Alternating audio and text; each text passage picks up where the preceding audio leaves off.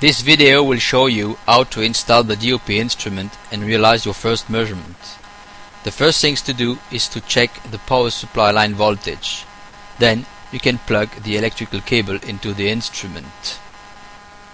Insert the USB connector into the laptop and then switch on the power supply switch which is located at the back of the instrument.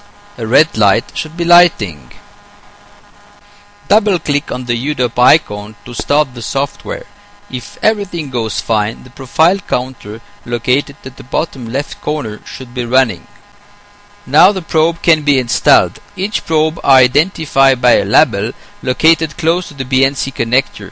This label mentions the emitting frequency and the diameter of the piezo.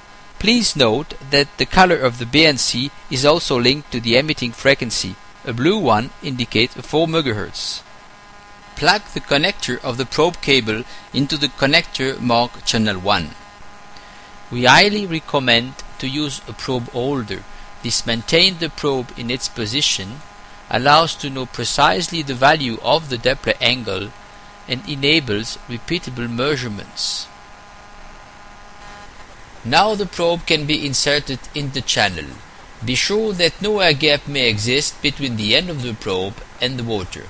Also, the axis of ultrasonic beam should never be perpendicular to the flow. For any new measurement, we highly recommend you to use the default parameters. Then we will enter the parameters that fit the application using the assisted mode. The first things to enter is the emitting frequency that corresponds to the probe, which is 4 MHz in our case.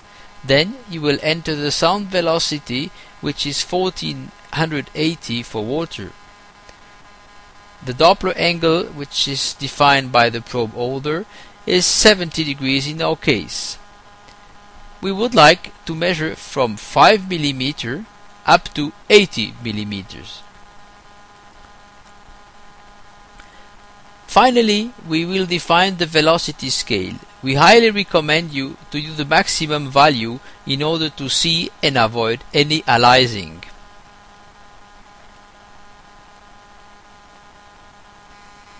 You see now your first velocity profile.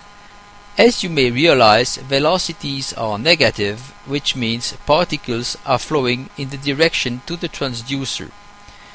Let's define now a better value for the velocity scale. It seems that 500 better fit the application. We will move a little bit the record panel in order to have a better view on the velocity profile. And finally, let's move the origin on the velocity scale in order to give more space to negative values. The velocimeter is now continuously acquiring profile. The time between profile is displayed in the status bar and the profile counter show which profile is measured. Let's apply a filter on this profile. You can select between two type of filters, the moving average and the median filter. Let's select the moving average filter and let's average 50 profile.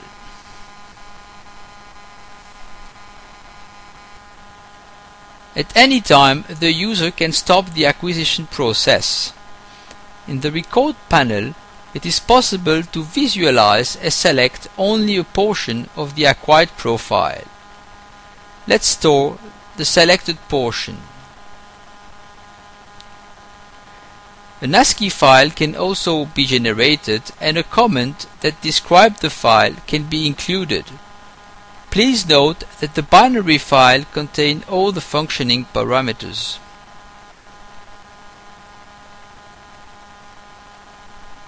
Thank you for watching this video.